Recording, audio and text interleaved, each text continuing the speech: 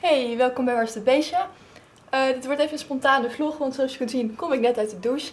Uh, ik ben gewoon thuis, maar ik ben niet alleen thuis, want hier naast mij word ik vergezeld door deze duif.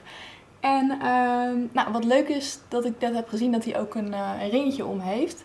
Dus ik ga even zijn nummer scoren en dan ga ik eens kijken wat hij allemaal heeft uitgespookt.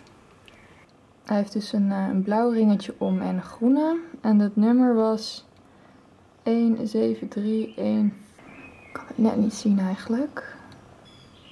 Maar ik moet zeggen, ik vind het toch eigenlijk best wel een mooi beestje. Ik weet dat veel mensen geen fan zijn van duiven, maar... Uh...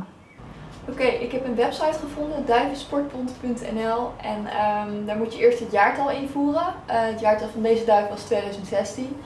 En daarna een, uh, een nummer. Um, dan krijg je een telefoonnummer van de eigenaar van de duif. En die heb ik eventjes gebeld.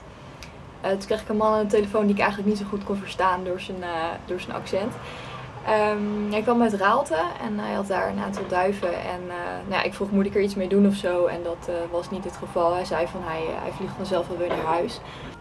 Ik neem trouwens even terug wat ik net zei over die duiven. Want ik zie net dat hij echt mijn hele vensterbank heeft ondergescheten.